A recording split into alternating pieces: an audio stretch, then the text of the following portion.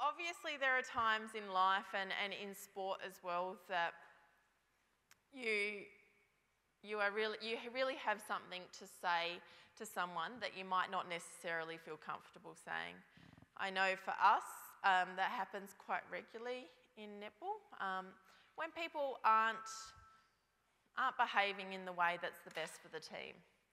Um, and sometimes these are your really close friends that are doing that.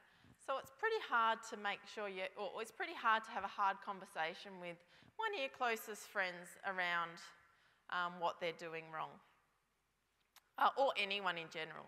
But I, I got told last year that if I ever have that feeling in my tummy where you're a bit nervous about having a conversation to someone about something that's annoying you, you cannot ignore that feeling and you have to make sure that you have that conversation. And that conversation isn't you talking to someone else about them, that conversation isn't you yelling at them about what's going on. It's finding a way to be able to discuss this with that person that you both benefit from.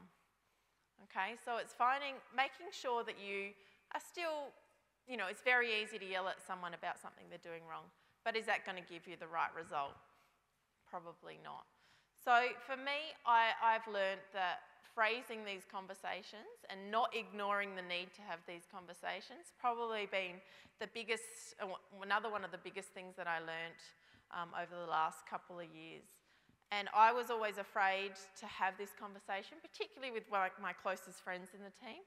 But after doing it and, and living by this and acting by this over the last two years, I've found that they actually respect me more by coming to them and discussing this and discussing this with them. So I, think for you guys, it's something to be really aware of. And as you grow up into, into leadership roles, it's kind of a challenging thing to do but it's something that I think you'll really benefit from.